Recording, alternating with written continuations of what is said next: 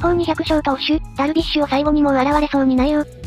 200勝ダルビッシュ、197勝田中、185勝石川、164勝和田、163勝前田、161勝涌井、159勝岸、125勝菅野、107勝菊池、99勝千賀、74勝山本、65勝今永。山本由伸余裕すぎるやん。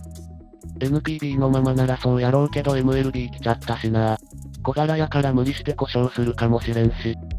余裕ではないぞダルは7年で96勝しててこれだし。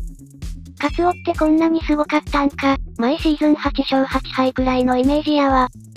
シーズン13勝を3回、12勝を3回やっとるな。通算では勝率ほぼ5割や。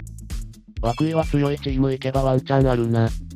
宮城ならいけると思ったが最近怪我したからな。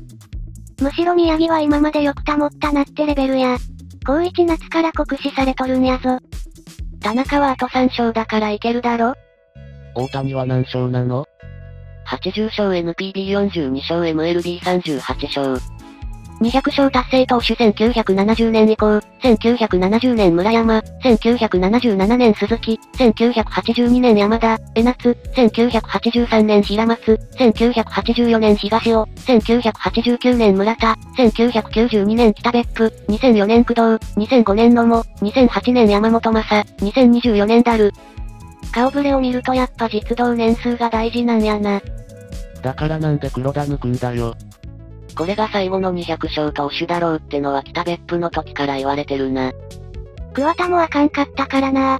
金やんがわしの200勝分やるから迷宮会入れたるとか言ってたけど、むしろ MLB の方が登板回数多いし達成しやすい200は日本にずっといる方が難しい記録。